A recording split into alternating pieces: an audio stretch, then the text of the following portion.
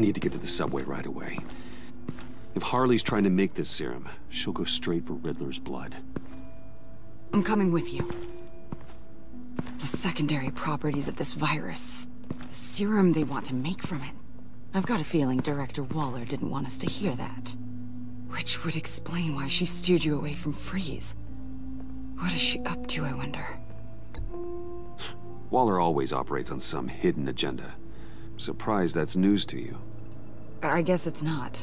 News, that is. I guess I just have blinders on when it comes to people I look up to.